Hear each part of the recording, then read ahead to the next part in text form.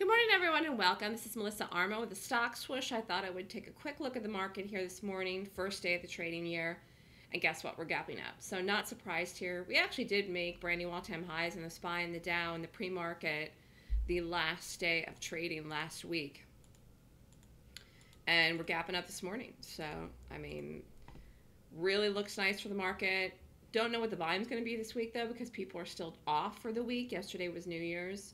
Uh, looks like we open here to 67.84.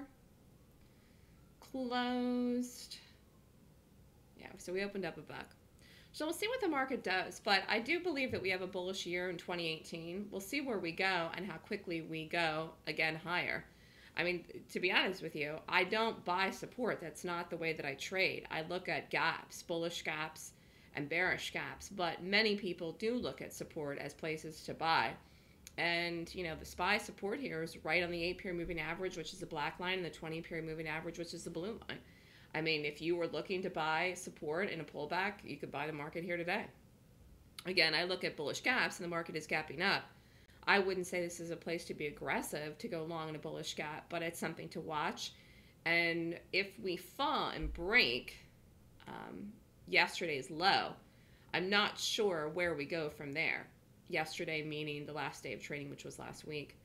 Uh, even if the market pulled all the way back, and I, I'm just looking at the SPY here, into this area here, if we don't hold today, we don't hold the support, even if we pull all the way back in here, that would not be that big of a deal for the market. Still would be showing tons and tons of strength. And this green line here is the 50 period moving average. Let's quickly take a look at everything else. So I think Apple pulled the Qs down last week and the Dow looks higher. Let's see Apple today.